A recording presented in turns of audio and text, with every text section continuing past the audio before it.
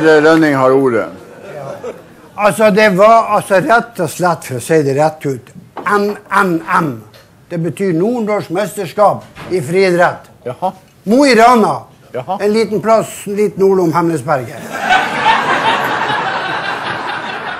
Og det var det både hopp og sprett og høyde, alt mulig. Ja. 400 meter, 800 meter, 1000 det, Alt mulig. Ble mye til sammen. Ja, det ble, og vi sa Dæken ta til slutt, så ble det sleggekast. men han salte, du.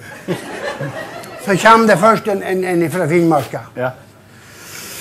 Han tar den på uh, Ny nordnorsk rekord! Yes. Ja, du besetter. Så kommer det over Hammerfa, Hammerfest-tidene. Ja. Vardø Dagblad. Kautokeino Oddasat. Ja. Og spør han hva, tre, trener du? Jeg trener ikke så mye. Ja, hva du gjør? Nei, for når du kaster kaste lasso. Ja, er det ikke mer? Nei, det er ikke noe mer, sa han. Ja. Ja, ja, nei, det var, det var ikke mer det. Så kommer det neste mann, fra Vega. Vego. Fra er vel han salte. Tar en par runder. Uh, ny norsk rekord! Yes. Og da kommer da Det første ut det var Pinne Brønnøysund Avis med redaktøren. Kjem springende! Og det kommer da, da, da Dagbladet og, og Adresseavisen og, så, og, og, så det TV, var ikke det, og, vi- og vi, vi, våre hester. Fiskeren! Fiskeren kom ja. I hele tatt. CNN. Ja, han Nei, nei, nå må du vente! Ja, For ja. dæven hans Du skjønner. Sistemann. Ja. Hemnesberget. Ja. Han spytta en par ganger, og så De så bare grønnåler forsvant over tribunene.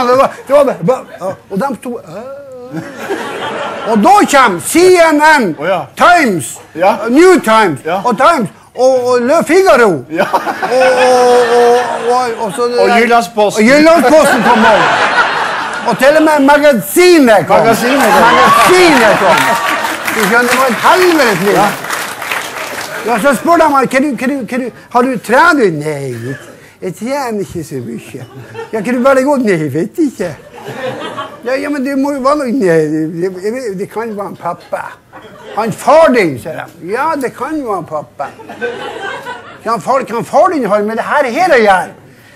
Nei, det, vet- men det var en gang jeg var og vokste opp. Pappa var kommunearbeider, så kom han trasig og trøtt hjem og satte seg på vedkassen på kjøkkenet. Og så spenner han støvlene av seg borti kjøkkengulvet. Og så sier han Olaf!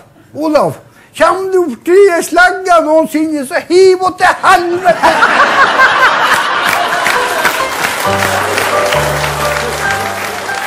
Vi